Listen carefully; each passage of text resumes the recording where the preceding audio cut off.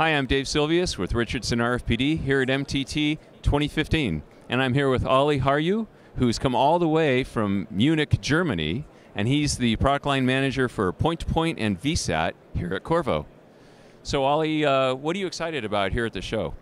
So what, what comes to high frequencies like point-to-point VSAT, it's all about power at the moment. So it's GaN. What we are introducing here is uh, GaAs GaN amplifiers, bringing the output powers up to 16 watts and plenty of plenty of gain in small package, surface mount package. Yeah. Wow, 16 watts. That's pretty impressive. I haven't seen products like that on the market before. Me neither, and especially in, in that size of a package. So you, when you have a small air cavity QFN, you need to have also thermal in your mind. Oh yeah. Yeah. yeah. yeah. So uh, how do these types of products differentiate you from your competitors?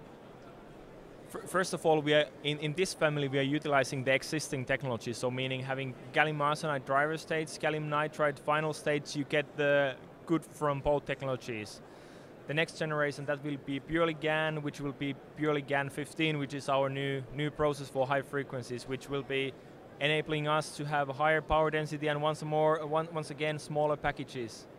Yeah. Fantastic. Anything else? From, from point to point, I think the future is GaN, GaN 15. Great. Well, thank you very much, Olli. It's been a pleasure to see you again. Thank you, Dave. All right.